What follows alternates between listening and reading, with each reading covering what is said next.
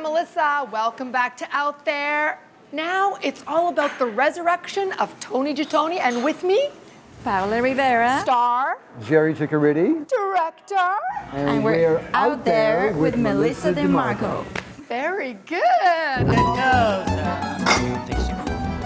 Just having fun. No, Leo, Leo, what, watch the f***ing gun. What's exciting about us talking about your movie here is that it was shot here at Il Gattinero. Huh? I got that right? I got right. vowels right? Gatonero. That's it. That's it. Corner of College and Crawford. And this is one of the hot spots for amazing Italian food and the social experience, which is why it was perfetto. Exactly. Yes, the Gatonero was kind of the uh, ground zero for the whole Italian Canadian uh, experience here on uh, in Little Italy for both the actual Italians who are left in the neighborhood and also the, the cultural vibe as well too. There's a lot of Canadians here who are, or non-Italians rather, who are filmmakers and actors and poets and pornographers and who knows what else. They all kind of like li- live in this neighborhood, but this is the place everybody everybody comes.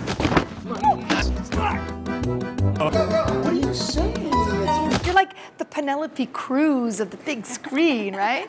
So tell me about playing this part for you. Oh, it was, it was, I loved actually to get to, to see the whole Italianness of the neighborhood and the, uh, participate in that. And I'm, I'm also Latin, so I, and I'm also been living in, in Toronto for a long time, so I have the experience of feeling like an immigrant and uh, what all that involves, right? And like having, I guess, not nostalgia, but like craving for your, for your feel of home. Vanessa Luna. Your Italian is better than mine. Not, not, not, that, it, not, not that it takes much to be better than my Italian, but okay, let's gi- give us a little Italian flavor. Go ahead.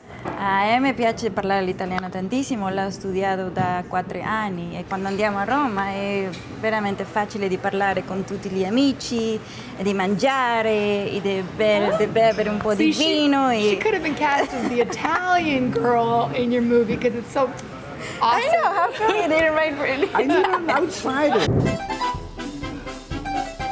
Where are you well, congratulations. It's a fantastic movie.